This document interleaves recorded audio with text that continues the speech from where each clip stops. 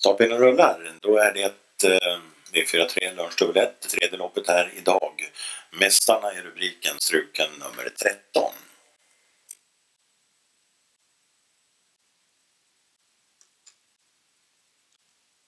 Och de kommer ur svängen och har nu 100 meter kvar till start.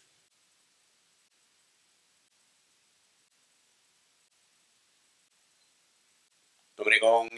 Två Arabesk snabbast invändigt. Utifrån kommer Kanishka Sonna ännu längre ut också. Sex Lena Rigby. Nummer två Arabesk håller innerspåret. Ner där bakom nummer tre Design Highlight. Kanishka Songa hängande som första häst i andra. På väg fram i tredje spår. Där ser vi nummer eh, fem Ohio UB. Längre ner också i ett eh, tredje spår åtta Elstein. Backar ner gör nummer sex Elena Rigby. Vi har där framme nummer två Arabesk som nu kommer upp till 500 meter. Har nu på utsidan Ohio UB. Vi öppnar halvvarvet i detta nu på en 14,8. I rygg på ledaren 3 Design Highlight. Vi har där också 15 OF Perch Pike. Invändigt som fjärde, fyra Kanishka Sonna. Där bakom i ett andra spår ett Knife Town Hall i andra paret utvändigt. Har bakom sig nio i the Tanks. Längre ner också nummer 10 Forza K. Där finns också i ett andra spår även nummer 14 Huddlestone. Vi har invändigt också där eh, 7 Alva Empress. När vi nu kommer upp till passering 1000 meter, nummer 2 Arabesk öppnar varvet på tiden 1.17,5. Dock inga rörelser ifrån kön. På utsidan 5 Ohio UB. Andra paret utvändigt. Knife Town Hall har Empty the Tanks i sin bakficka. Där också nummer 10 Forza K14 Huddlestone och nummer 11 Ålunda. Diskvalificerad nummer 7 Alva Empress Håkan Wallberg.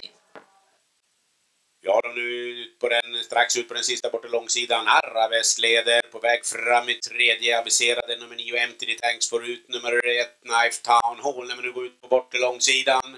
Med i draget som sagt nummer 9 Empty Tanks. Hård press där framme nu av ett Knife Town Hall på två Arravesk.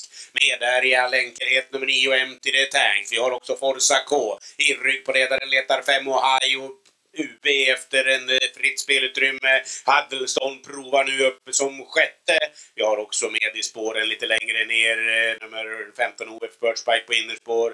Där finns Nimine 12 Flame of Fortune som letar sig emellan hästar. Men det är långt fram för det till nummer 2 Arabesk och ett Knife Town Hall. Empty Tanks följer som tredje. In mot upploppet, två hästar sida vid sida. Grepp nu i andra spår. Ett Knife Town Hall. De spurtar bra långt ut i banan. 100 meter meter kvar i alla fall ledaren. Niklas Westerholm sätter sig till nästa. Han vinner lopp nummer tre med ett Knife Town Hall före 14 och 9.